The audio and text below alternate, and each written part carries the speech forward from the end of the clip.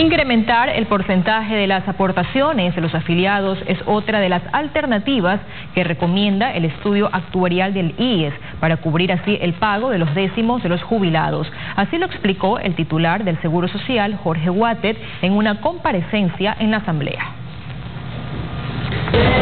El presidente del Consejo Directivo del IES dice que los plazos se acortan para cumplir con el pedido de la Corte Constitucional.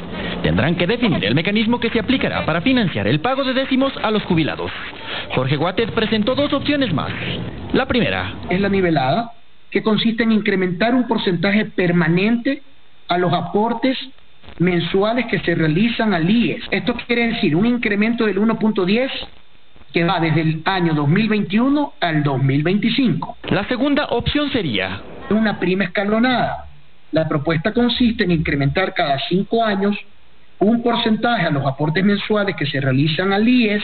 Se suman al anuncio de que también se podría grabar con un 9% los décimos de los afiliados activos para financiar el pago de décimos a los jubilados. Y en torno a la posibilidad de cobrar una prima por atención de salud de menores de edad, dijo que está en análisis.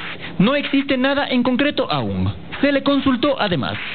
Posibilidad de una evaluación técnica para que los hospitales puedan ser concesionados. Nunca la posición es privatizar al IES eso está prohibido por la Constitución, más bien es que existan administraciones independientes. Finalizó señalando que todas las decisiones que se tomen tendrán como argumento las recomendaciones de los estudios que están en marcha en el IES.